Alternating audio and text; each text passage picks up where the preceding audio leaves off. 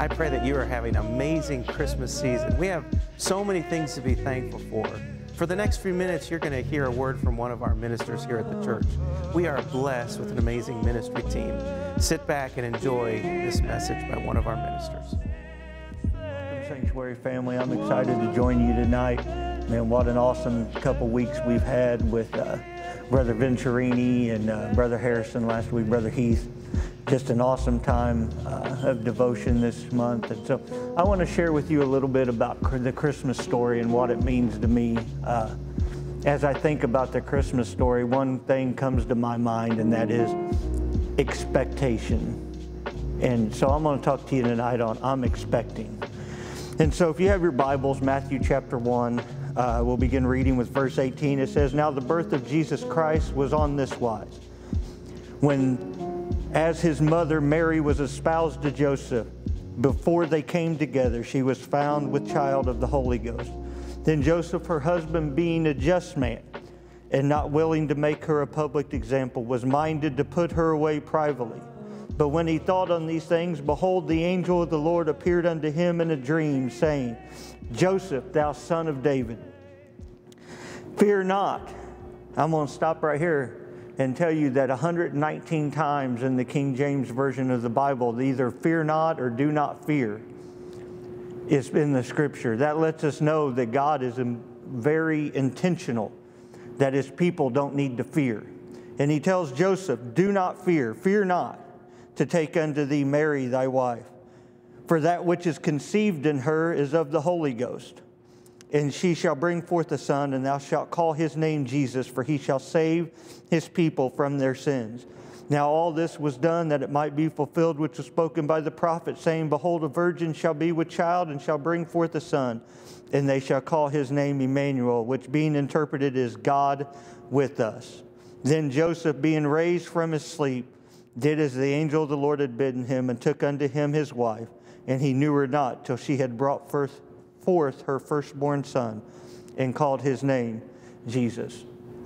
Imagine with me this story as Mary and Joseph both get the news, and Mary uh, finds out as a young woman that's recently engaged, planning her big wedding day, planning to all of her dreams and hopes on this relationship she has with her fiance and going to be husband. And she gets the news that she now is pregnant and that the Holy Ghost has impregnated her. And she has to go and tell her fiance, and knowing that he probably wouldn't understand and he wouldn't believe and he wouldn't even be able to comprehend what has really happened. And then imagine Joseph as your fiance. Men, imagine if you had just got engaged and all of a sudden your fiance shows up and says, Hey, I've got a funny story for you. Uh, I'm pregnant. Okay. Uh, how? Why? What's going on? I thought we were in a relationship. I thought we were planning on getting married. What's going on? And so Joseph loved Mary, but he didn't want to make an example out of her, so he went to hide her. And that's when the Holy Ghost or the angel of the Lord appeared unto him and said, Don't, don't fear, Joseph. What she told you is true. That which is conceived in her is of the Holy Ghost. That which is conceived in her is from me. She's not lying to you, she's telling you the truth. But they were expecting, they both had a promise from God. Mary had a promise from God. And Joseph was confirmed. He confirmed that promise with Joseph. He told him, That which is conceived in your wife, you shall call his name Jesus, for he shall save his people from their sins. They both were expecting, they both had a promise from God. They were pregnant with promise. And, and I ask you this Christmas, uh, during this season, what are you expecting? Are you expecting God to do something in your family, in your life, in this world? Are you expecting a miracle? You see, God has placed in each and every one of us something great, something that He wants to birth through us, something that He wants this world to receive from our lives and from our relationship with Him. If I could encourage you today, whatever dream, whatever goal, whatever passion, whatever it is that God has placed in your hands or placed in your life, don't doubt it.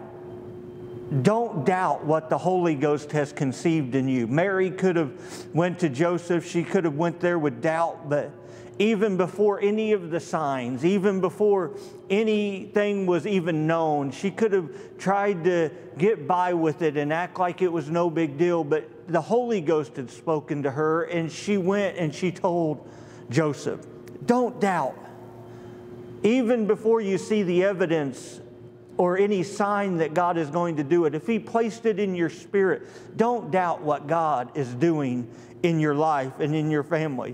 To the rest of the world, to our postmodern culture, to the doubters, to the haters, it, it might sound crazy. It, if it's from God, it, it's probably going to sound crazy. It's probably going to seem far fetched. God doesn't operate in our ways. His, the word says that His ways are not our ways, and His thoughts are not our thoughts. To our educated minds, it won't make sense to our educated minds uh, the will of God and the things that God wants us to do. We'll not, we'll not be able to rationalize it, but God's not relying on our mind to rationalize what He's wanting to do. All He's wanting is our obedience to what He's wanting to do in our life. We need to stop thinking about how everyone will relate or even agree with what God is doing in our life, if they're going to confirm or say, you know what, I agree with you, I'm going to pray with you. You know what? Sometimes people aren't going to agree with you and pray with you. Sometimes you have to stand by yourself. Sometimes it'll be just you and your family alone saying, we're going to follow the will of God and we're going to do what we're called to do. But it's up to us to wake up every morning expecting God to fulfill His promise in our life if I can be transparent with you for a moment, which most of you that know me know I'm too transparent at times, but me and my family's on a journey right now. We're figuring out where the will of God is going to take us and what's going to happen with our future. But as I'm on this journey, in this transition in my life, I wake up every morning. Every day throughout the day, I check my emails. I check my phone.